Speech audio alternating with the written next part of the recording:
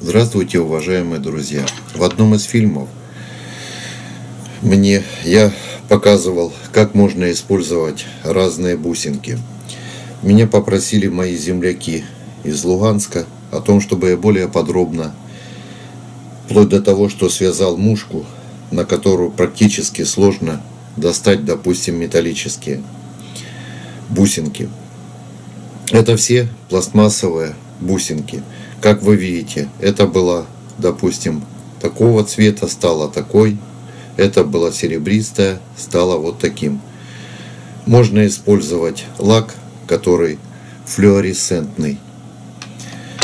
Очень хорошо помогает, кстати, при изготовлении всевозможных стримеров. Он пластмассовый, поэтому для выполнения мушки я вам сейчас покажу, как это все изготовить.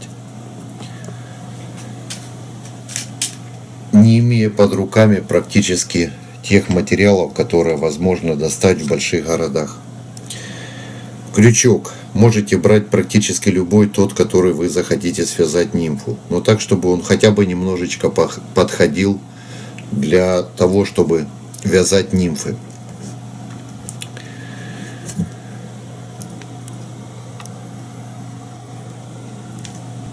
Сам, сам, допустим, шарик я поставил обыкновенный, который пластмассовый купил в галантерейном магазине. Как вы видите, вот он достаточно сильно болтается у нас на цевье.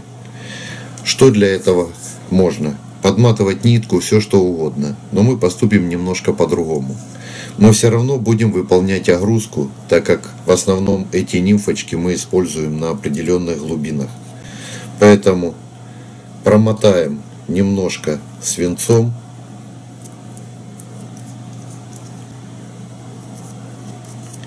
огрузим наш стример или мушку, что вы надумаете для себя изготавливать. Обмоточку выполняем по голому цевью, потому что мы будем с вами потом этот свинец, который мы намотаем, вставлять в то отверстие, которое есть в шарике. То есть мы его немножечко сбалансируем и как раз этим устраним тот дефект, что шарик наш болтается. Величину приблизительно огрузки мы выбираем сами. Если нет свинца, пожалуйста, я так думаю, что кусочек медной проволоки трансформаторной можно разжиться всегда. Тем более подобрать по диаметру.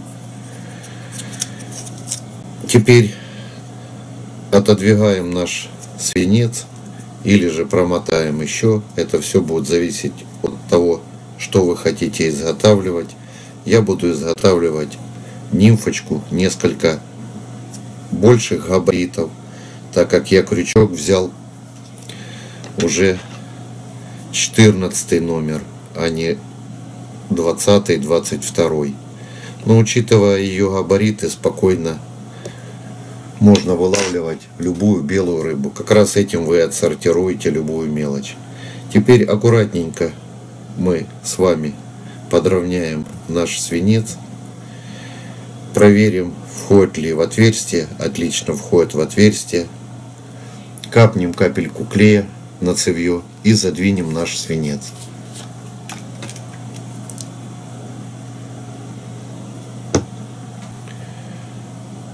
Шарик наш пластмассовый, плюс наш свинец, поэтому закрепится он достаточно хорошо.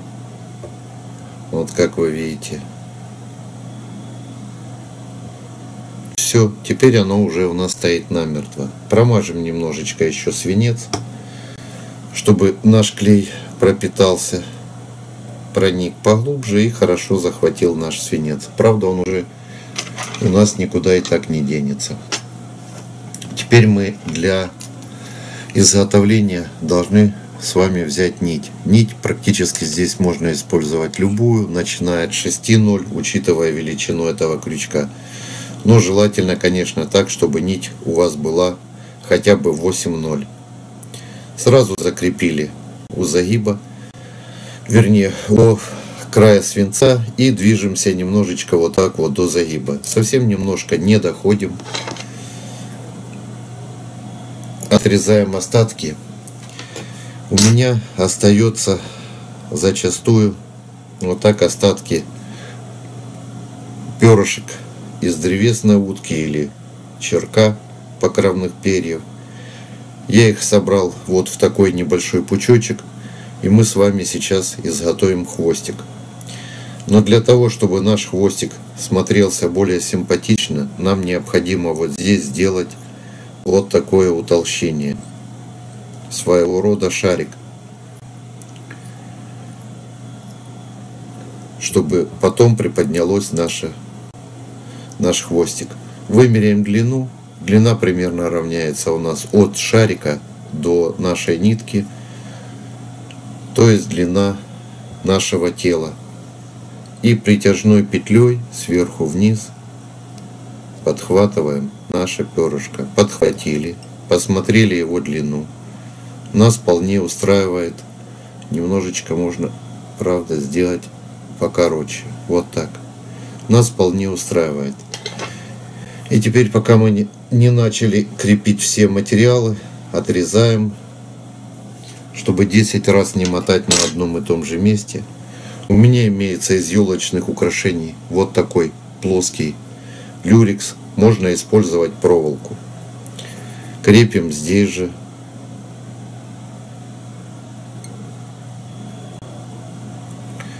И так как мы больше уже материалов никаких крепить не будем, мы спокойненько теперь закрепим тот материал, который мы с вами уже закрепили у хвостика. Немножечко промотали, учитывая то, что у нас будет из хорошего даббинга изготавливаться наша мушка. Провалы нам не нужны, немножечко вот так мы подмотаем перепад, который у нас есть между свинцом и нашим телом. Подровняли, возвращаем нашу нить там, где мы с вами закрепили материалы и наш хвостик. Теперь будем изготавливать да, бедновую петлю. Или же можно так сразу на нить, как вам будет удобно. То, какой техникой вы владеете. Я беру, наношу клей, обыкновенный клей-карандаш, который имеется во всех магазинах. И беру даббинг из набора можно использовать, как я уже неоднократно повторял, мех наших домашних животных. И совсем немножечко, маленькими-маленькими порциями наношу на ней. За счет клея наш даббинг хорошо держится. Вот мы нанесли слегка его вот так подмяли, посмотрели, добавили – и рукой изготовили для себя вот такую дабинговую нить, прокручивая ее, как вы это уже знаете. И начиная от хвостика, двигаясь к нашему к нашей грудке, начинаем увеличивать понемножечку объем. Вот мы с вами дошли до места крепления груди. Здесь более плотнее сделаем вот такой переход – и я подготовил небольшой кусочек полиэтиленовой пленочки, которой мы будем выполнять чехольчик. Обыкновенная пленка, которая идет в упаковке материалов. Желательно выбирать так, чтобы наш полиэтилен был несколько потолще, поплотнее. Здесь крепим, следим за тем, чтобы было ровненько закрепили нашу пленочку, посмотрели, как она у нас будет переворачиваться. И на месте крепления мы опять с вами должны немножечко промотать, буквально совсем немножко промотать нашей дабиновой нитью.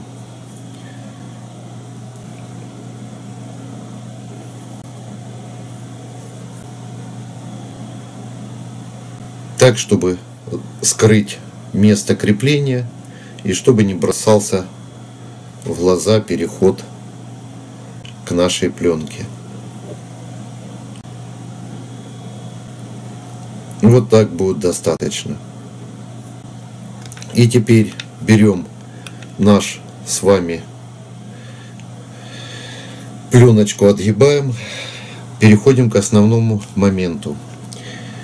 Лапки я буду изготавливать у нашей мушки из вот такого пера. Это перышко можно уложить вот так сверху, используя как покрывное. Можно намотать у колечка. Я хочу изготовить нашу нимфочку так, чтобы у меня мои перышки были ложились сверху, так как мы закроем все это чехольчиком. Желательно подобрать так, чтобы у нас подходило перо, лапки по длине нашей нимфочки, которую мы с вами изготавливаем. Теперь мы должны с вами изготовить грудку. Грудку можно изготавливать из более темного даббинга, но учитывая то, что у нас достаточно здесь разных элементов, которые оттеняют нашу мушку, мы будем использовать все тот же даббинг. Если у вас нет перышка, можно спокойно не укладывать перо, намотать вот так даббинговую нить, потом ее закрыть сверху нашим чехольчиком и потом распушить, придав нашему дабингу положение лапок на ваше усмотрение.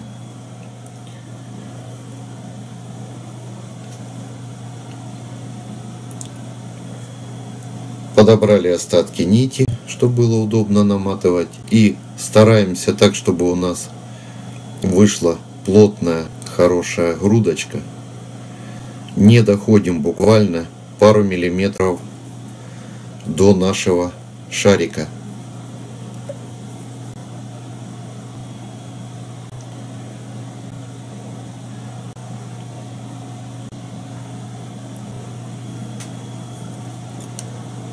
Вот так. И теперь уже мы берем, переламываем наше перышко, которое мы с вами подготовили. Выбираем сколько нам необходимо, какое количество лапок для нашей мушки. И стараемся так, чтобы у нас уже никуда не ушло наше перышко. Убираем лапки в сторону. И теперь аккуратненько прихватываем, следим за тем, чтобы перо находилось строго сверху. Подтянули, оно у нас уже сверху. И пару-тройку оборотов закрепим уже окончательно наше перышко и остатки отрежем.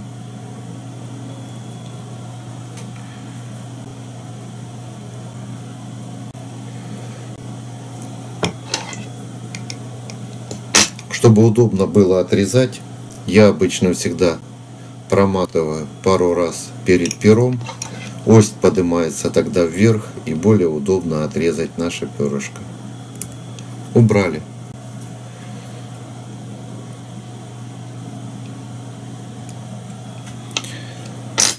И теперь самый ответственный момент. Мы должны вот так рукой, пальчиками, смочив их слегка, разровнять наши лапки.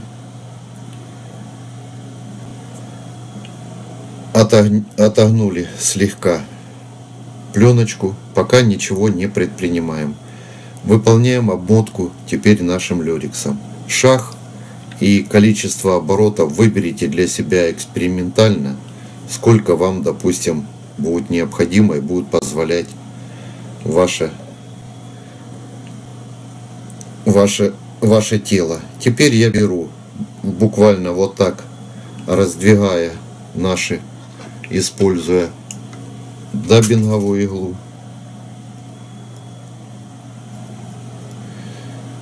отодвигаем наши лапки, которые будут перышко символизировать. И выполняем намотку теперь поверху пера.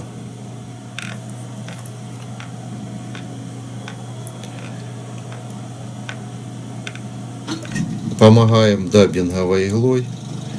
Или же, как я иногда использую, можно взять зубную щетку.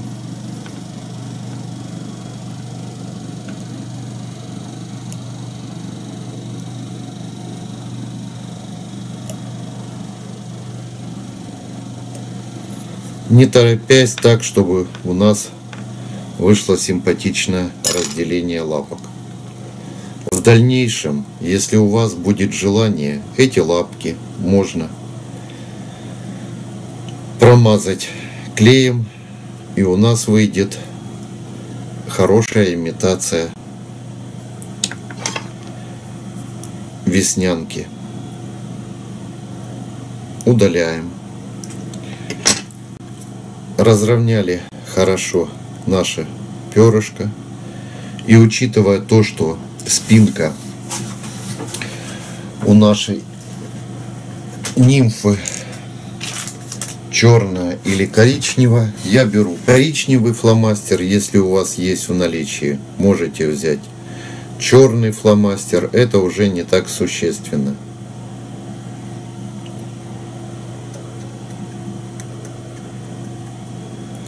подкрасили еще немножечко наше перо, так как мы к нему уже здесь на спинке не вернемся. И теперь ответственный момент мы должны с вами аккуратненько, так чтобы не подломались наши лапки, уложить сверху нашу пленочку. Если Пленочка вот так, как у меня, несколько шире. Надо выполнить вырез.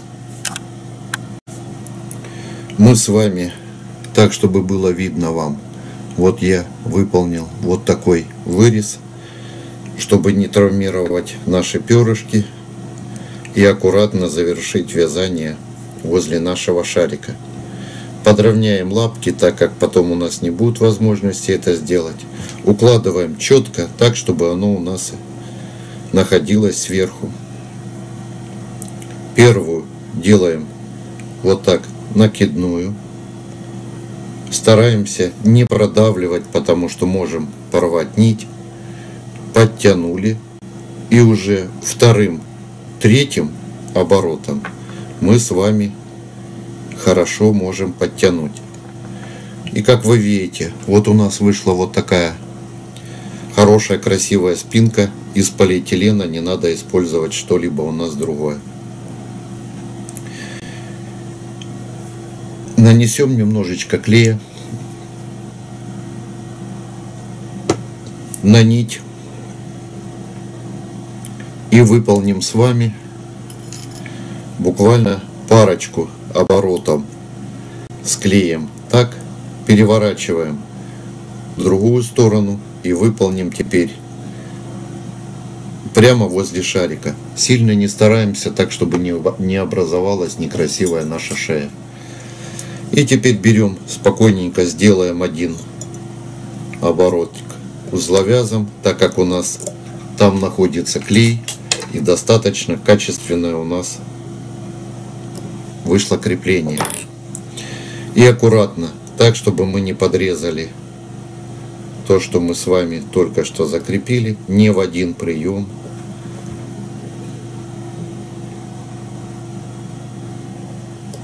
Вот так подрезаем. Как я уже говорил, можно спокойненько взять, промазать. Вот вышла вот такая нимфочка. Мы теперь возьмем с вами сверху, так как она у нас должна быть темнее, прямо вот так можно по телу, по нашей пленочке, стараемся не задеть наш с вами шарик.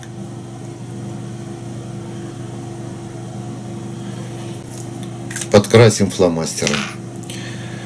Вот и все. Наша с вами вот такая симпатичная нимфа готова к работе. Она достаточно огружена.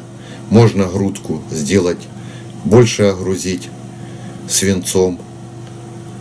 Ну, этого достаточно для того, чтобы она погружалась у нас до двух метров спокойно.